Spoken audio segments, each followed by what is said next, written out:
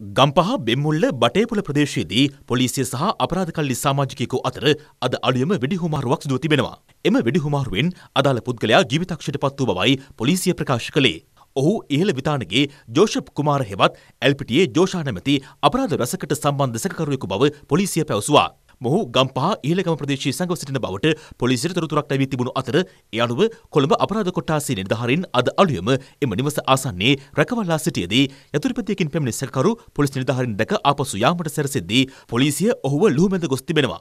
බටපොළ දළුපොත වෙල්යාය අසලදී අදාළ පුද්ගලයා යතුරුපැදිය අත්හැර දිවගොස් වෙල්යායක සැඟවී සිට ටී56 ගිනි අවියකින් පොලිසිය දෙසට වෙඩි ප්‍රහාර කිහිපයක් එල්ල කර තිබෙනවා. මෙහිදී පොලිසිය එල්ල කළ ප්‍රතිප්‍රහාර වලින් සැකකරු ජීවිතක්ෂයට පත් වුණා. වෙඩි ප්‍රහාරයෙන් පොලිස් නිලධාරීන් පැමිණි වෑන් පතයට හානි සිදුවද කිසිදු පොලිස් නිලධාරියෙකුට තුවාල සිදු වී නැහැ. සැකකරු ජීවිතක්ෂයට පත් වූ ස්ථානයේ තිබී T56 වර්ගයේ ගිනි අවයක් ගමන් බෑගයක් සහ හිස්වැස්මක් පොලිසිය සොයාගත්තා.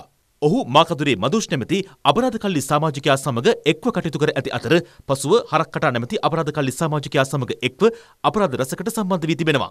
ඉන් පසුව මොහු ඉන්දියාවට පලා ගොස් සිටියේදී පසුගිය මාර්තු මාසයේදී ගනේගොඩ සංජීව නැමැති අපරාධකල්ලි සමාජිකයා විසින් ලංකාවට ගෙන්වාගෙන ඇති බවයි විමර්ශනවලදී හෙළිව ඇත්තේ.